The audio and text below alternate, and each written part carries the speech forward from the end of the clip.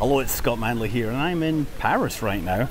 I'm uh, here because I'm coming to Asteroid Day in Luxembourg to talk about, you know, the, the, the awareness of asteroids and all that. So, unfortunately, that meant that I had to be on a plane during the STP launch, STP2 launch, and it seems that I missed quite an amazing launch. Uh, looking at the video, it is for obviously it was the first night launch of a Falcon Heavy, and Falcon launches are spectacular. Like the way when the boosters flip around and the second stage continue to fire, the interaction between the exhausts looks like nothing else.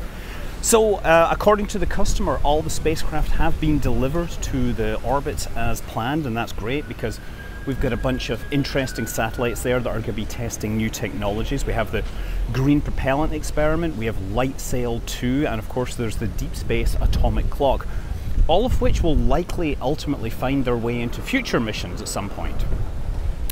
As for the uh, you know the view on the ground or whatever, the side boosters once again were recovered. They were reused from the previous Arabsat mission.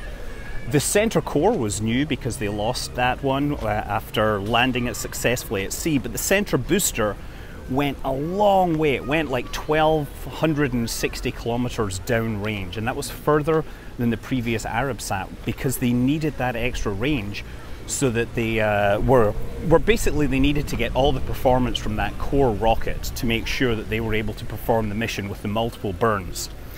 And that meant that it came in 20% faster than Arabsat, and it looks, well, the landing footage well, it isn't landing footage, but it is pretty darn spectacular because you can see it coming down in the dark and the rocket exhaust is actually interacting with the top of the barge. So it was on target at that point and then it changes course. It just disappears off and crashes out of view. It looks pretty amazing.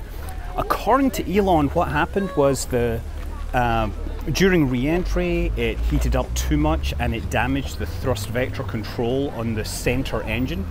So what probably happened is during the initial braking, they had all three engines burning to slow down quickly. And as soon as those two engines on the side cut out to get the finer controlled performance for the landing, then they were relying on the thrust vector control of the core stage, and that was not reliable enough. So the thing either was forced by the broken vectoring control or it did its best to make a diversion out. And it was a really dramatic diversion. You just see it spin and flip and go out and disappear out of range.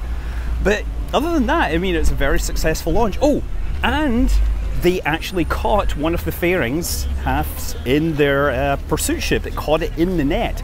They recently renamed Mr. Stevens to Ms. Tree and I think that seems to have done it the world of good. I mean, it's obviously it's got a better name now than Mr. Stevens.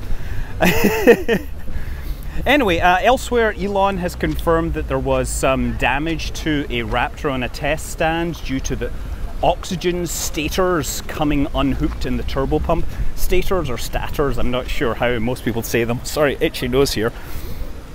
These are like the non-moving parts of spinny things, so you'll have those in generators and in turbines. They're just basically a bunch of vanes that deflect the flow before they actually hit the spinning blades. Uh, so anyway, that came unhooked. So there's another test engine coming out. Point is that uh, the Raptor engines they're going to use for the Starhopper are currently in flux uh, because the ones they intended are sort of broken. Uh, that being said, I think there are have been raptor sightings at various locations, so we're going to see something happen with this soon. Yeah, that's all been a very interesting day. So look for me uh, at Asteroid Day. It'll be on Twitch. I will probably be hosting it on my channel as well, and I'll be talking with astronomers, astronauts, and uh, other people that like to talk about asteroids and the threat they pose to human life. I'm Scott Manley. Fly safe.